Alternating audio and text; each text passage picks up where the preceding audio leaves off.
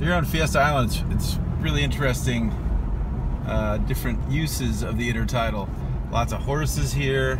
Uh, this is midweek, um, bit of an overcast day, but we still have these horses coming out, walking in the intertidal.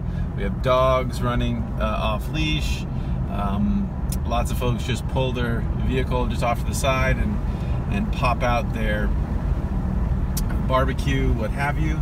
Right across the way, you can see our Boy Scout camp. Fiesta Island uh, Boy Scout camp.